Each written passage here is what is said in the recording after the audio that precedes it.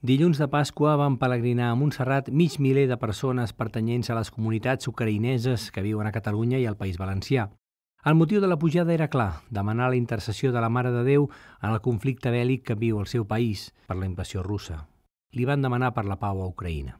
Hemos venido hoy aquí, lunes de Pascua, para pedir a la Virgen la paz en Ucrania. Y todos que estamos aquí queremos pedirle que nos ayude también con su intercesión antes de Cristo para que nos da esta paz y también la unidad en el pueblo. Y también queremos darle gracias por todo lo que siempre nos hace, como nuestra madre que siempre nos escucha.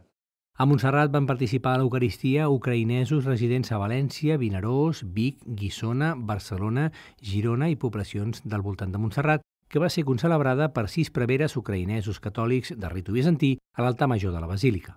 A Catalunya i a València, abans de l'inici de la guerra, vivien de manera estable uns 80.000 ucraïnesos. Actualment, per això, el nombre s'ha multiplicat per la llau de refugiats que han estat acollits a casa nostra.